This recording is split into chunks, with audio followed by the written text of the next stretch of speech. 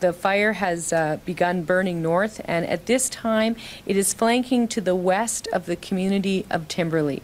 Um, what we're told is that there's a pretty substantial burned out area between where the fire is now and the community, and there's uh, roughly five kilometers between where the fire is and the community, and it's flanking north.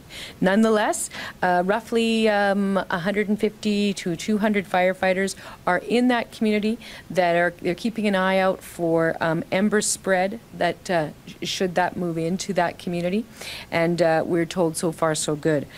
The fire is moving north at a fairly good pace um, and uh, recently crossed Tower Road.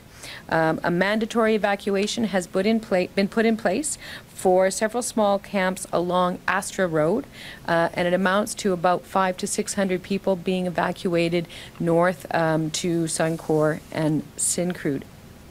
Meanwhile, um, there is a precautionary, just a precautionary evacuation in place um, at Syncrude and Suncor at this time. North of these facilities, there is no immediate threat or any precautionary um, uh, threat in place.